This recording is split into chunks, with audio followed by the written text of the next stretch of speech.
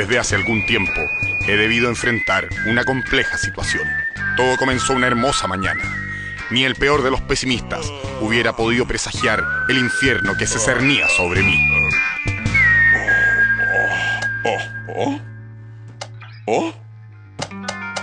Oh, oh, oh. Oh. Oh.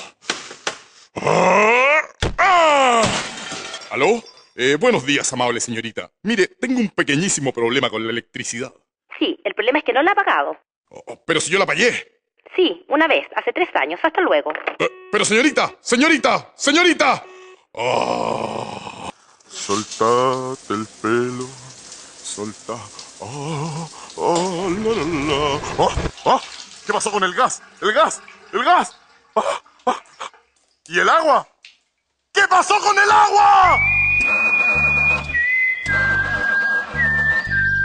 Debía enfrentar mi escasez energética.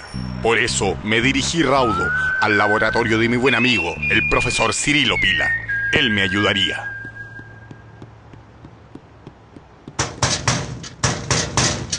Bodoque, si vienes a pedirme dinero para tus apuestas, olvídate. Profesor, no me ofenda.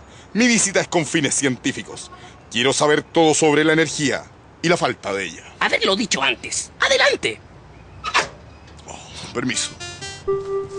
La energía es lo que mueve, calienta e ilumina todo a nuestro alrededor. ¿Y de dónde la saco? La energía está en todas partes, Bodoque.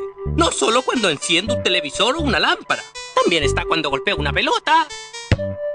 Cuando seco mi ropa. Cuando inflo un globo. Nadie puede vivir sin energía. Y a mí me lo dice. Mire, profesor, todo esto es muy interesante, pero tengo un problema urgente. Me cortaron hasta el aire y tengo que seguir viviendo. Necesito energía. Ahora. Entonces, estás en un buen momento para aprender. Primero tienes que saber que hay energías renovables y no renovables. Las renovables son abundantes y poseen una condición cíclica de renovación. Por ejemplo, el viento, el agua o el sol.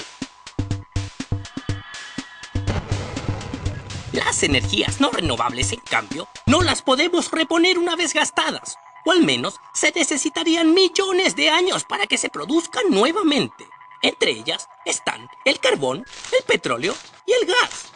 Muy ilustrativo, profesor. Pero dígame, ¿cómo veo televisión, cocino o me baño con sus enseñanzas? Debo decirte que en Chile la energía para que hagas esas cosas es escasa. Acá producimos apenas un cuarto de toda la energía que necesitamos. La que falta la traemos desde afuera. Profesor, ¿usted quiere decir que si yo llegara a producir mi propia energía, no dependería de nadie más e incluso si me sobrara, podría ser un gran negocio? No, quise decir que la energía hay que cuidarla porque es un bien escaso que necesitamos para vivir. Oh, veo que se te prendió la ampolleta. No, no, no, es que apreté el interruptor.